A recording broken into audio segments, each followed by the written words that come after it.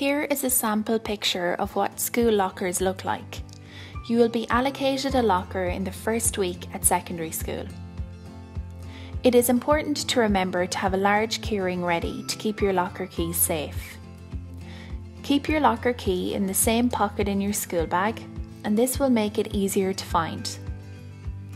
If you get a code for your locker, take a note of this code until it's easy for you to remember.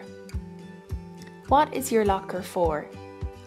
Your locker is your allocated space in school to keep your belongings safe. It is to ensure that you do not carry all your books around every day as they are too heavy. When will you use your locker? You use your locker at specific times during the school day. First thing in the morning, at break time, and then again at lunchtime. Lockers can be busy and noisy environments, so it's important to be prepared to get what you need and get the books for the next three classes.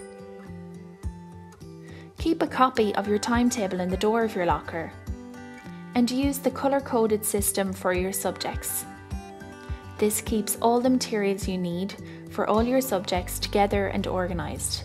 This will make it quick and easy for you to get what you need on each visit. So, let's recap. Number one, put your locker key on a large keyring or write down your locker code to keep it safe. 2. Keep your locker key in the same pocket in your school bag. 3.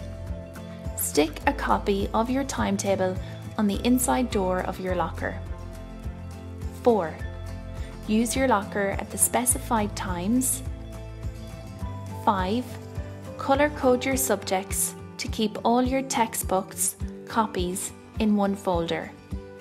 This makes it quick and easy for you to get the correct books for each class.